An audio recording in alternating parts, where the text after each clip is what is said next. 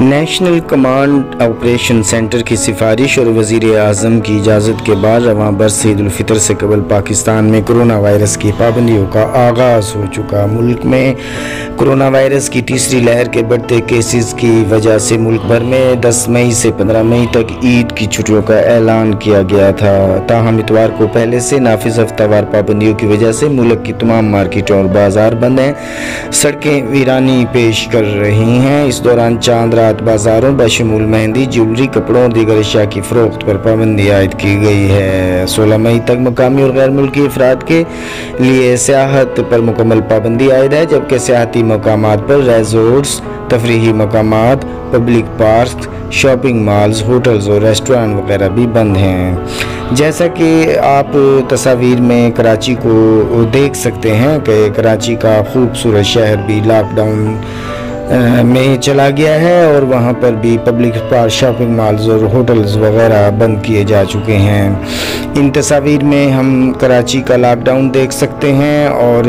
अभी हम आपको लिए चलते हैं। इससे आगे जो लॉकडाउन इस्लामाबाद में पहले से ही सख्त लॉकडाउन इस्लामाबाद में मुशाहदे में आ रहा था, जहाँ पर इस्लामाबाद को फ़ौज के हवाले कर दिया गया था। इस्लामाबाद में भी लॉकडाउन का सिलसिला जारी है और इस्लामाबाद से पूरे पाकिस्तान में लोग वापस ईदैन करने के लिए ईद फितर अपने गाँव, अपने शहरों और अपने सूबों में ईद मनाने के लिए जा चुके हैं और इस्लामाबाद मुकम्मल तौर पे वीरानी का नमूना पेश कर रहा है और हमसाया मुल्क भारत में होने वाले शदीद, अंदोहनाक, इंसानी ज़िंदगानी के नुकसान का अंदाज़ा लगाते हुए पाकिस्तान में ईद फितर के मजहबी त्यौहार के मौके पर सख्त लॉकडाउन किया जा रहा है और ये लॉकडाउन ना सिर्फ़ इस्लामाबाद, कराची, लाहौर जैसे बड़े शहरों में शदीद तर देखने में आ रहा है। वहीं वहीं पिशावर में भी लॉकडाउन